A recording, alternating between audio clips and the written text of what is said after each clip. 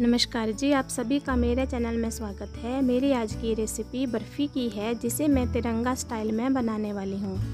तो चलिए जल्दी से बनाना शुरू करते हैं।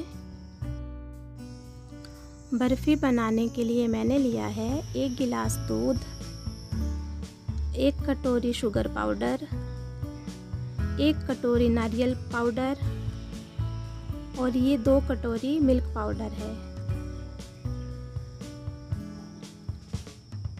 सबसे पहले हम दूध डालेंगे। दूध जब हल्का गर्म हो जाए तो इसमें हम मिल्क पाउडर ऐड करेंगे।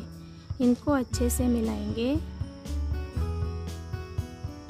मैंने अभी कढ़ाई चेंज कर ली, क्योंकि वो बहुत बड़ी थी, और वैसे भी नॉन स्टिकी में अच्छे से बनती है और नीचे से जलती भी नहीं है।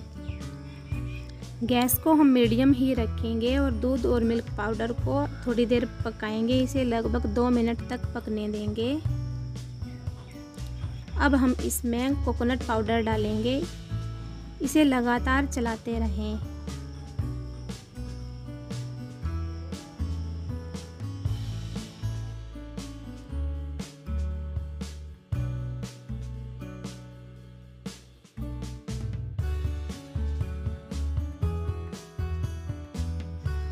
अभी हमारा ये मिक्सचर ये देखिए, इकट्ठा होने शुरू हो गया है। अब हम इसमें शुगर पाउडर डालेंगे। और इनको इसमें अच्छे से मिक्स करेंगे। अब यह हमारी बर्फ़ी बनाने के लिए तैयार है और ये देखिए, ये कढ़ाई को भी छोड़ने लग गई है। अब हम इसे तीन भाग में डिवाइड करेंगे।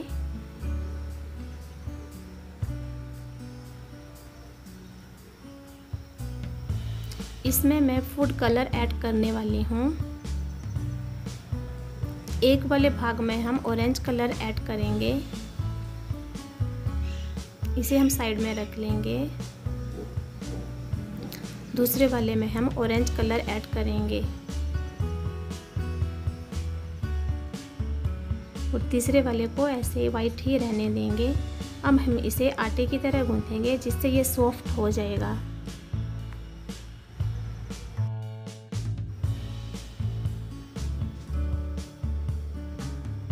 अभी एक लेमिनेशन शीट लेंगे।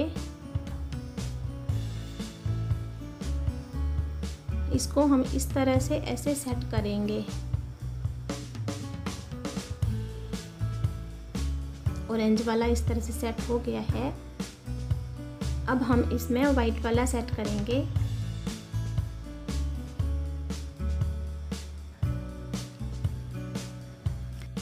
इसके ऊपर ग्रीन वाला और तीनों को हम अच्छे से सेट कर लेंगे। और इसे थोड़ी देर के लिए हम ठंडा होने देंगे। दो घंटे के बाद ये पीसेस काटने के लिए तैयार है।